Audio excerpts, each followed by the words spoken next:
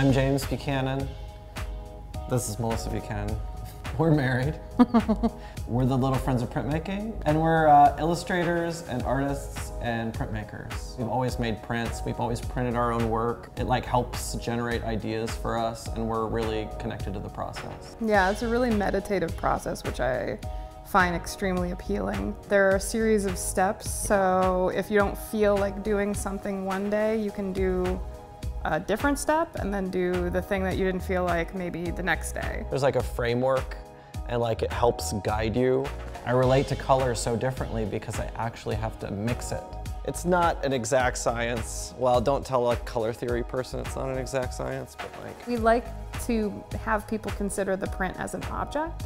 And to do that, we try to play with like the way that the inks interact with each other. Transparency is a big thing for us. We love in silkscreen how you print one layer of color over another layer of color and you get a texture shift. The way that a silkscreen is typically designed is you go from the lightest color to the darkest color and you always end it with like a key layer that unites everything.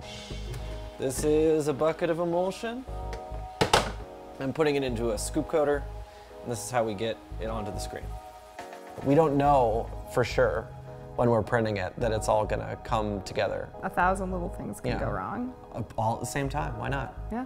This print is called Sugar Shack. It's based on a poster design that we did in 2007. It sold out almost immediately, but people were always asking us about it. And then suddenly we were like, oh, why don't we just like plagiarize ourselves? We'll just make another candy shop. We really do think of a print as being a 3D object and not just screen printing as being a way of replicating a drawing.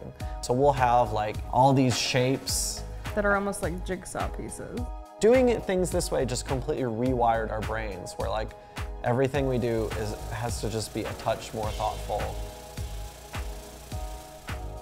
We are always trying to push our aesthetic and to do that, we make work for ourselves. So we'll make prints for ourselves to further our aesthetic so that we have items that we can show uh, art directors and say, well, we can make this too.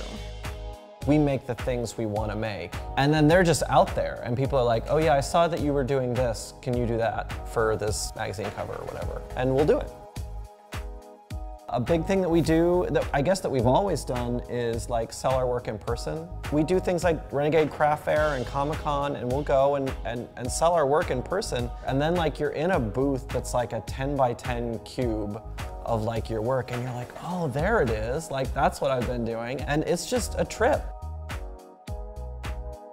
When we were studying printmaking in college, a local promoter saw us at a bunch of shows, and the promoter asked us if we would be interested in making some concert posters for the shows that he was trying to get people to go to. One day we were going up uh, State Street in Madison, and we saw that the local promoter was putting up some of our posters for a band that was playing soon. And then as we were coming back, all the posters were gone. And at first we were just like, wait, did he take them down? What happened to them? And what had happened was people stole them because they, I guess, liked the the poster. It was fascinating to us just the public's response to it. So like that blew our minds. We were like, oh, maybe like what's graphic design? Can we do that as a job? What's illustration? This is the first reprinting with different colors. CMYK is great for newspapers. I just hate the individual ink colors. So like we'll do a skewed CMYK where it's like turquoise and then goldenrod and then fluorescent pink and then gray instead of black. And that's, that's what we did with this print.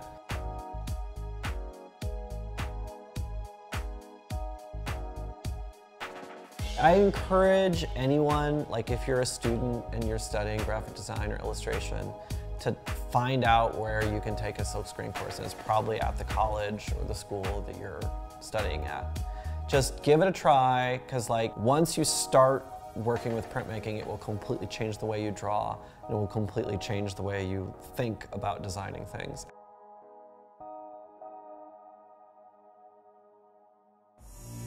So what'd you think?